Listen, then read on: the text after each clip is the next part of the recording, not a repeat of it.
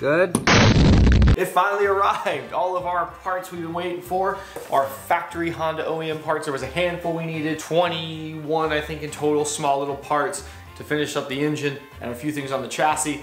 Uh, big thanks to Revzilla who sent this out. You actually can get OEM parts on Revzilla. I don't think a lot of people realize that, but you can. The holdup though wasn't them. It was just, just Honda taking forever to send the parts out. You know how that goes. I was just joking the other day about how now the Japanese bikes are almost like European bikes. They take forever. But one of our guys in our Discord has got a KTM 690 he's been waiting over a year for parts for. So month sounds pretty good when you compare it to a year. We'll need to assemble our piston here, install it in the motor, slip the cylinder on, put the head on, bolt everything up, turn it over a few times, you know, all that jazz, make sure it's all happy, and then the engine will be done. And this poor little guy will have a very, very violent and insane life. That's what it's made for, so let's get it going. So to get the piston set up, uh, first thing I did is actually took it inside and gave it a quick wash off with some soap and water. Forged aluminum piston, won't hurt it.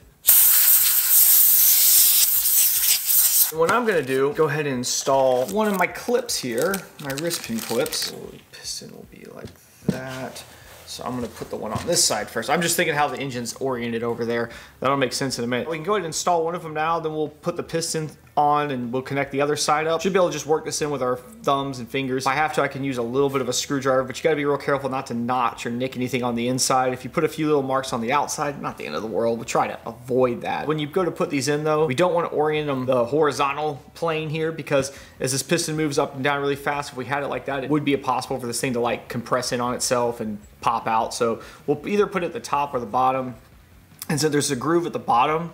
We'll, uh, we'll set that at the top just so it's like in the, the best place it could possibly be. I'm gonna just try to walk this thing in here. Smaller piston ones like this, I can usually just do with my fingers. Try really hard not to have it fly across the room. This last little bit, I might have to get a screwdriver to get that in there. Let's see. Am I feeling it? Oh, I am feeling it. And I got it right up at the top where I want it to be. Awesome. Get, yeah, the only reason I didn't put it at the bottom is because there was the little relief there to get in there with a pick and take it out. So that's good for that. All right, over here on the engine, let's pull out my wad of stuff here. Put this it top, roughly top dead center, I'm guessing right now. I can actually go and remove these. I went ahead and ordered these head studs. Ari told me you really just need to replace the nut, uh, nut washer, I want to say, but I just, th these were pretty cheap, so I just went and ordered a whole set of them. You couldn't get these off, you just put two nuts on it and jam them together. You know, that old trick. I've stuffed some good clean rags back down in here because we don't want to lose parts. I'm going to put a little bit of, this is some assembly lube, just a thin layer of this. You don't need to like glob it onto anything, I feel like, but some people do. You'll see now why I put the clip in this side because when we look at this piston here, now you notice this piston is not labeled front and back. It doesn't matter if we can look at oh here, we can see these are the reliefs for the valves and you see some smaller ones and some larger ones. The larger ones will always be on the intake side. I've put my clip on the opposite side here, so now that I'm in a good position, I'll need to spin the engine around. Again, we'll put a little bit of assembly lube down here. Right, you just stay right there for a minute. We have a new wrist pin JE sent us, came with the piston. Let's put some goop on it. Smear it around. All right, just bottomed out over there. This, what we're doing right here is why we have the rags here, so we don't lose this little clip down in the engine. Now, if it did fall in the engine, people go, oh my, it's actually, it's usually not the end of the world. It's usually just right somewhere on top and you get a magnet and you get it back. It's fine. Oh, the battery's dying. Oh no, the battery's dying on the camera. Okay, new battery. I'm gonna do this bare hand now and you're probably not gonna see anything because my hands are gonna be completely in the way, but you saw me put the other one in, right? Oh yes, Jake, we saw that. All right, well, this is the same thing. So, you know, you saw it once. You, You've seen it, you've seen it, right? Right, that's what everyone says. That's the saying. It's in a good position.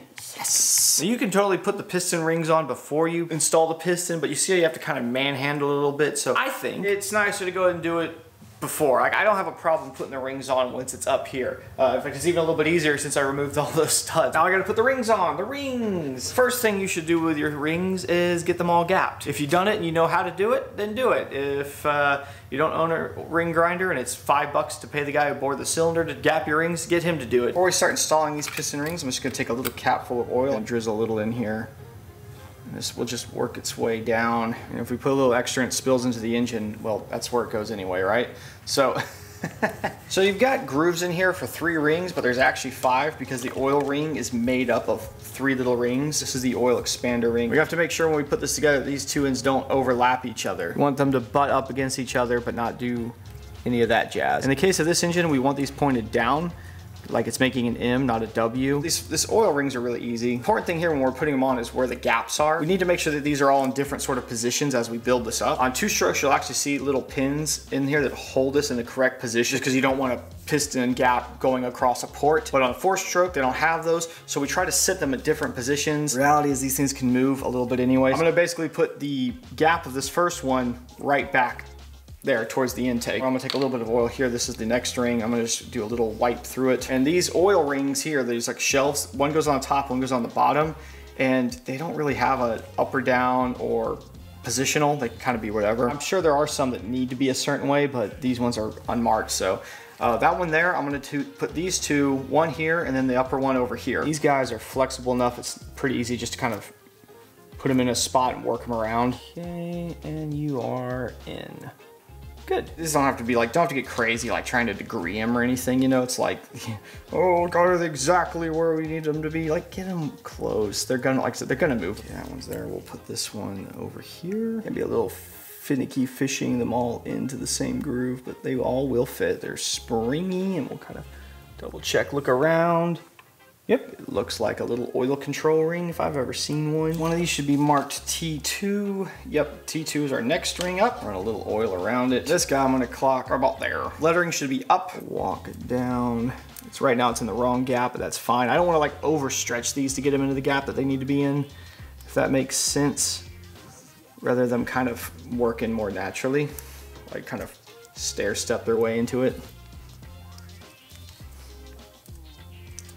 I've never broken one of these, but I've seen it happen. Oh, look at that. We pushed in a little, a little bit of oil squished out. But there we go. All right. And then I'll put the last one over here. Oh, it doesn't necessarily, don't think T, T and T2 necessarily always mean what mean that. They can mean whatever. Sit that one kind of over there. Happy with everything is, happy the way it's looking. All right, let's move on. Slip on the new base gasket. Guess I could have done this already. I'm gonna go install these studs now. I'm gonna take a little dab of oil, not much, just put a light little bit over the threads. You don't wanna glob this up on there because then it'll like literally hydraulically lock it. And we don't need to tighten these up. Uh, we just need to snug them. The torque that we apply to the top will be what it needs. There was a thicker threaded part. That's the part that goes bottom. I grabbed my cylinder here. I just gave it a real big spray out with the air compressor to make sure we got any bits left in there. I'm gonna take a little bit of assembly lube, just put a little dot of that in there. Take a little cap full of just the motor oil. I'm gonna kind of make a little slurry of them here together. Finger that all around in here. Doesn't need to be a big glob of it. All the way down in here. Nice and coated up in there. It's slightly trickier thing here. As I bring the cylinder down, compress these rings with my fingers as I'm slipping them over.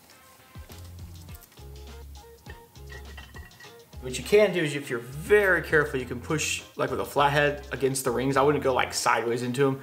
Just a little bit to kind of make sure they're sitting in their grooves. Okay, I think I've got those two in.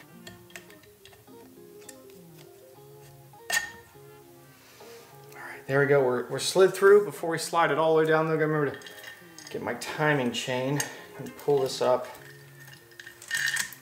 Hold it like that. There. There we go. All right. Yeah, went all the way down. That's what we want to see.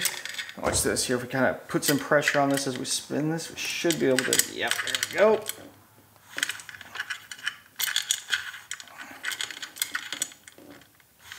Well, look at that. Woo!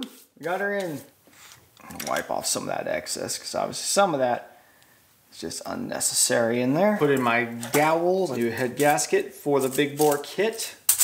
I'm gonna try, I'm trying to figure out which way the valve valve guide goes in here. You can kind of see the chain guide. There's a little nub. It needs to sit right in this groove right here. There's also a place in the bottom. It basically is a wedge and it goes into a little place down there. This is this is one of those silly things you don't want to forget when you go to put this in because I've never done it. I've seen people do it. They get this thing all simple and they go, oh, oh. Yeah, both valve guides are like too far out to start. So you gotta kind of wrangle them into place. All right. Before we go too far down because the chain is all wonky and crazy. Get you. Use a big flathead and kind of press against it to kind of get it into position. All right. Be sure to give this video a like. Actually, for real. Yeah, sorry, I was using that. Uh, none of y'all ever like these videos anymore. And like, like 70, 80% of you guys aren't subscribed to watch. It does help. Please do it. I know it doesn't really matter anymore on YouTube, but just it helps for other reasons. Please do. Thank you. Now I can open up a bunch of new Honda parts. You really should put a little bit of oil on the threads of those studs. Not a lot, again, you, you too much oil, you'll hydrolock stuff, right? But I really can't get to them anymore either. We'll dab with my finger of oil here. I'll just put like a little dot on each one of these and I'll make a piece of floss here and this should soak up any excess. There's just a little bit still in the thread. It's not even a whole lot, just more of a light residue. But you kind of need that to get the real proper torque. All right, let's do this without dropping these into the motor. Take you and do a little something like this.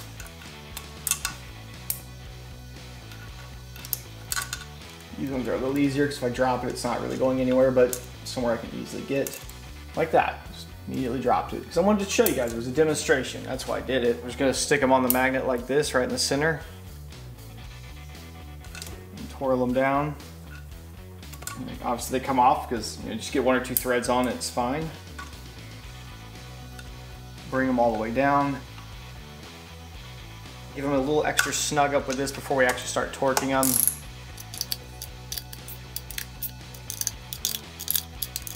I'm also gonna go ahead and stick these side bolts in here. I'm not gonna tighten them or anything. I'm just gonna drop them in and give them a couple turns.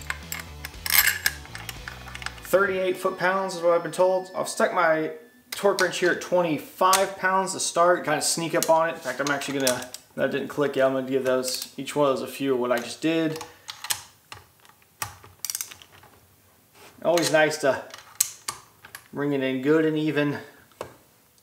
Something you can't really overdo. Let's go up to 38.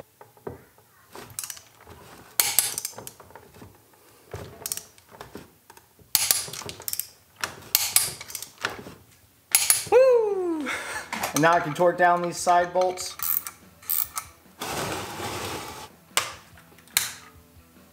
always rotate the engine direction it spins, counterclockwise. Pull up on the chain while we turn it. We should see an F and then a T. Well, there's the F. And here comes the T. Oh no! That's where we want the engine.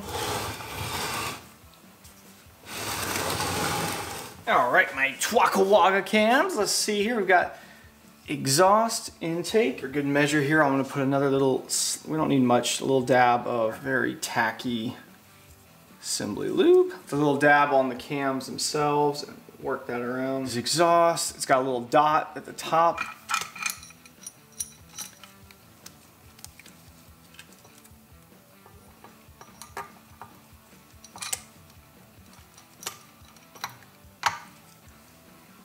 What we're looking for here is that these lines are straight across. There's a line here and here. They're less prominent on these ones than they are the factory cams, uh, but we need to make sure that that's straight across. The thing is, if it's one notch off, I know you might think, oh, is that, is that, you sure that's right? You, can, you know, like one notch is actually fairly noticeable. Uh, in fact, here, I'll show you just for fun. We'll, we'll make it one notch off just to show you I'm not crazy. Not completely, at least. So watch, we'll do one tooth over. You see what I'm saying? fairly noticeable. We need to make sure there's enough pins between these two dots here at the top. 1, 2, 3, 4, 5, 6, 7, 8, 9, 10, 11, 12, 13, 14, 15. Backwards, 1, 2, 3, 15, 14, 15. And that is the number it is supposed to be on this one. So that does look like we have them correct. I'm just gonna give it a quick double check that we're still on T. We are. So those cams are in the correct position. That means I can stick my caps back on.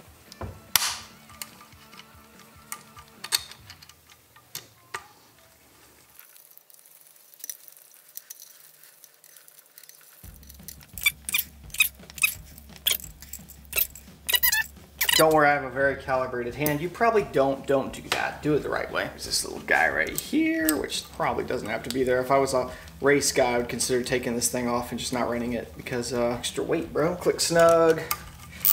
And in there, click snug. Woo! We need to take up the slack in the chain by reinstalling the chain guide tensioner. When I got a new gasket for it too, uh, I've actually had this thing off a couple times without changing the gasket and it never leaked. So is it absolutely necessary? No, but I have had it off like three or four times. So why not? So what do you do, right? You just come and you slam this in. No, no, no. You first must remove the little center bolt. Because I'm clever, I left this hand tight. In the center here, there's a little flathead, so you'll need a little flathead screwdriver. And when we screw this in, if you watch the end here, it's like you're screwing into it. You see, oh, look at that little oil, I caught it there. See how I just brought the tension in?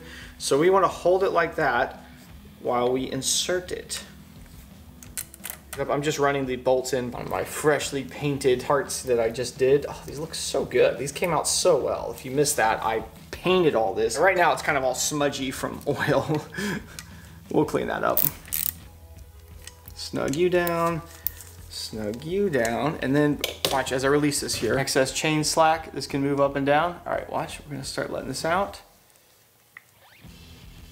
Go out naturally. I'm not, I'm not turning it out, I'm letting it come out, it's all and see. And there you go. Tensioner's done its job, and then we will put our little cap back over this. There's a little O-ring in there. Make sure that O-ring's in there. So we're almost ready to button everything up, but one really good thing to do here now is we're gonna turn the engine over a few times. We now the cams installed, we've got the new piston in there, a little higher compression than it was before, plus we have a more aggressive cam. What if there's a problem? What if they collide? We're not gonna know until we turn these over and really cycle everything around. Not to mention, good to see if anything binds up. Not to mention, just good in general. Let's just roll everything around a few times. We shouldn't hear any weird noises, any clunk, and everything should be pretty good. We're gonna get that, I'm using, since I'm using a ratchet here, you're gonna get that spin over because of the cams and the spring tension.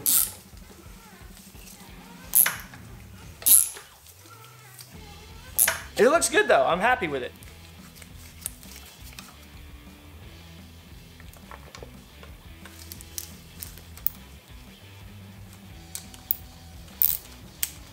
Let's not forget the coolant little hose that goes across here. Go like this. Yes, it goes like that. With that, the engine is put together. It's done. It's a unit now. Will it work? Who knows? Something could be catastrophically wrong. We really won't really know until it goes to start. So the next video should be the engine going into the frame and things should just start picking up from there. That video as well as the following video are already out on Patreon, so go over there and check that out. Jump in the Discord. Let's see if anyone's in the Discord right now. Kurt's the only one on here because it's it's late. But look, you wanna see, look. Wow, look at that motor that Jake the Garden Snake built. it, it will probably not blow up. Patreon is only $1 a month. and for that $1, you get exclusive video access early videos, and access to the Discord. All right. Wow. See you guys in the next video. Thanks, Kurt.